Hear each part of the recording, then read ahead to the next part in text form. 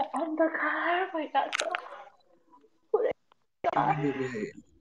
साथ लाग्दैन तिमीलाई मुजी यस्तो गर्नलाई उत्सव उत्सव केसीजी लाज लाग्दैन तपाईँ चाहिँ किन आउनु भयो त माथि लाज लाग्ने मान्छे त यस्तो नगर है यो विरोध भइरहेको छ? तपाईँहरूलाई लाज या प्राइभेटली गर्नुहोस् न यसरी मिसयुज गर्न पर्छ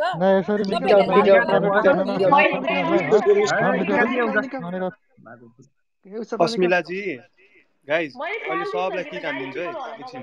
Hello guys, afternoon. कोही नबोल त अस्मिलाजी हेलो अस्मिलाजी मेरो अप्सु हो गयो अस्मिला क यिनीहरू सब ब्ल्याक पिपी बनाएर आएको थियो नि हो सालले खातेहरू तिमीलाई लाज लाग्दैन फ्यामिली थाहा छैन।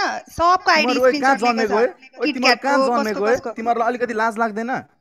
खातेहरू लाज लाग्दैन फ्यामिली थाहा भइरहेछ। केटीहरू कस्तो के तिमीहरूको अलिकति यार ब्रो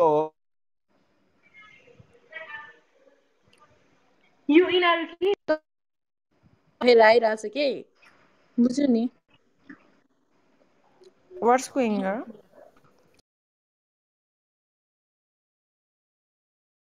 कृपया